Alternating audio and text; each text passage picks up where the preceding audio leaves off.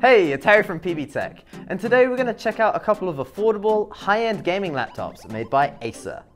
Acer is a Taiwanese company known for manufacturing elite gaming range Predator. Specifically, we're going to be getting friendly with two of the seven current Predator notebooks, namely the Helios 300 and Helios 500.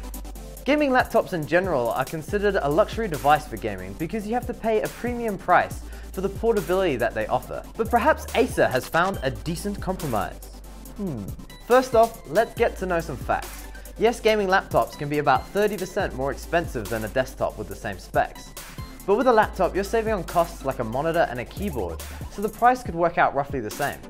Gaming laptops are obviously 100% more portable than a desktop because they're more compact, but that means they also become hotter, which makes the fans work louder and harder, reducing its performance by up to 10%. Hmm, the plot thickens. But more on this later. Gaming laptops have never been more worth it. For since the release of Nvidia's 10 series graphics card last year, one of the biggest downsides of gaming on a laptop versus a desktop has been reduced significantly. Before the 10 series was released, there was a 50% performance reduction with a gaming laptop. Now that's been decreased massively to just 10%. So back to the Helios Bros. They're different ages and different sizes, but what makes them brothers, huh? Well, to find out, let's do an overview of their shared features before we take a closer look at each of them individually. Both of these have an Intel i7-8750H processors, so you're getting a decent amount of power to run the latest titles in gaming. Also, the i7 is just past the peak of retaining the most power for your dollar. Even though an i9 would be much more powerful, it also escalates the price significantly. The processors are both able to be overclocked, boosting your laptop's performance past its advertised speeds, at the cost of hotter temperatures and louder fans. When any tech is pushed past its limits for a long period of time, there was always the element of risk involved. So to ease your thoughts, Acer have developed a monitoring software, aptly named Predator Sense, so you can take absolute control when you need it most. Moving on, the Helios Bros both have 16 gigs of RAM, 256 gigs of SSD, and 1 terabyte of hard drive space. That solid state drive will be great for saving your current game files to, to get them faster loading speeds. Their final shared toy is that they have the same screen resolution at 1080p Full HD. So do you think these shared qualities make them enough to be brothers?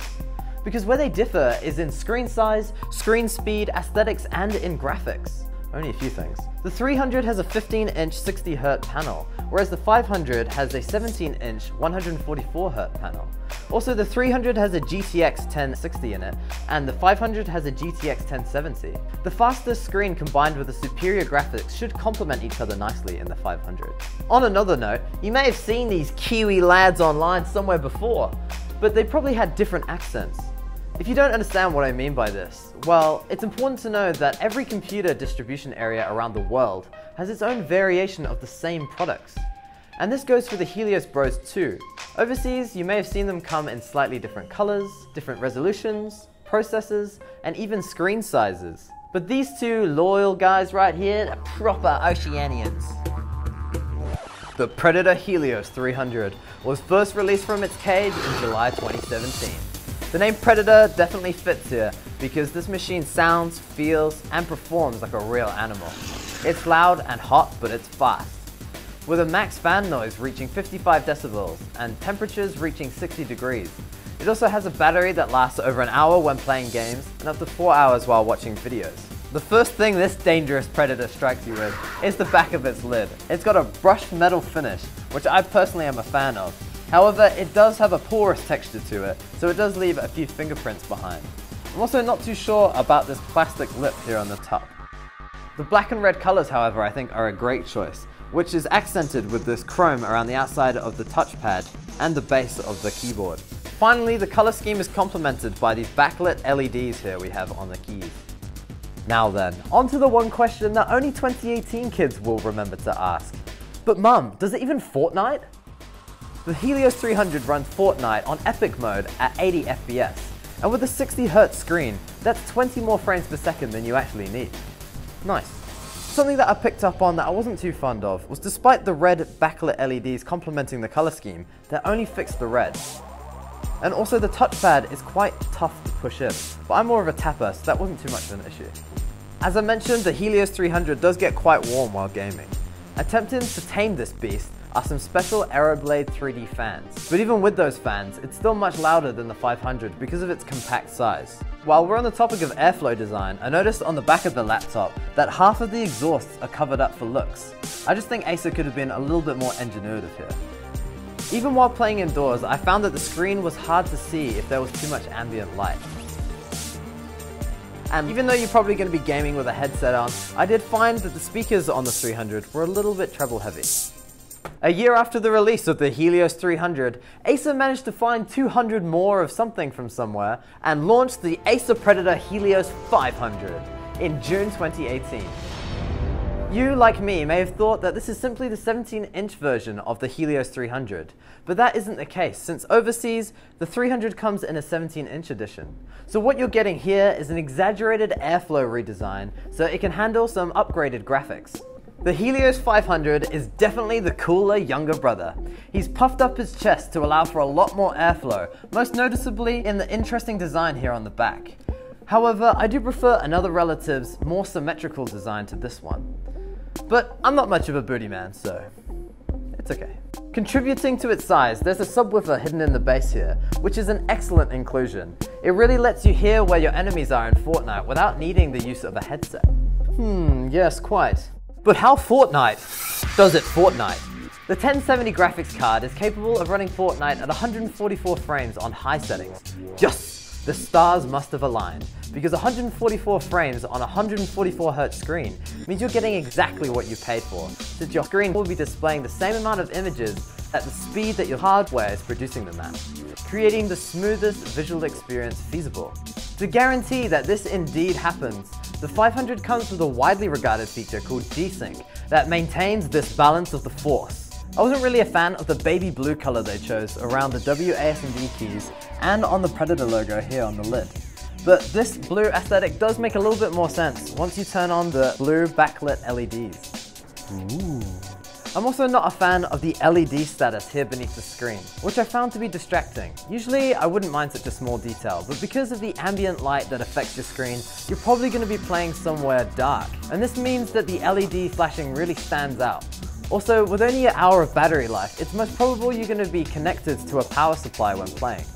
And this turns on a bright orange LED, which I think kind of detracts from the blue aesthetic. Thankfully on the 500, the aforementioned Predator Sense is once again here to save the day, with zone control over the backlit colors.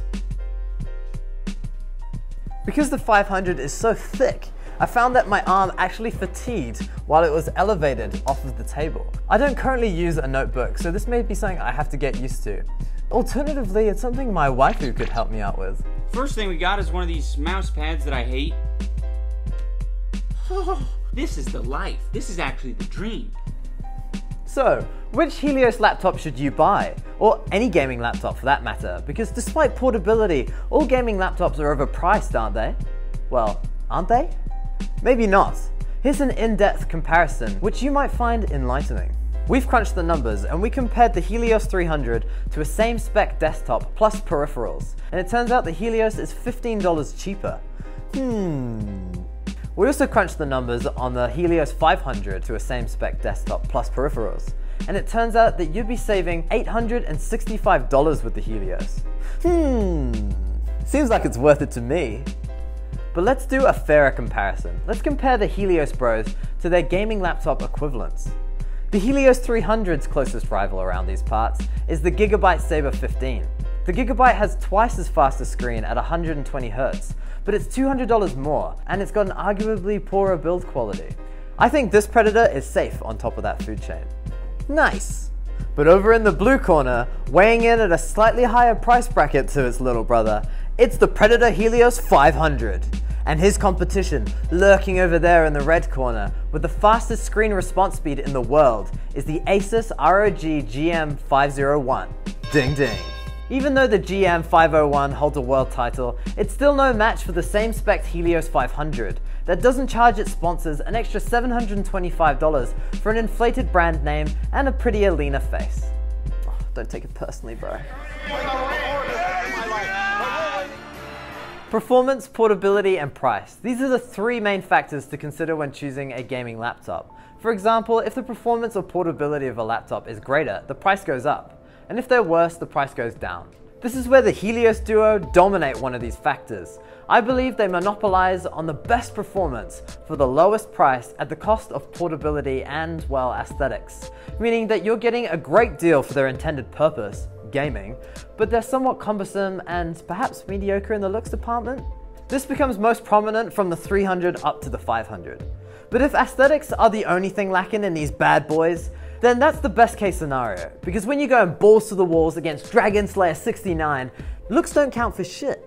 Well, well, Well, that's about it. well, that's about all I've discovered so far. Thanks for watching. Links to all the current prices of the Predator 300 and 500, along with all the parts and competitors mentioned, will be in the description. Make sure you like and subscribe, and I'll see you next time. Bye!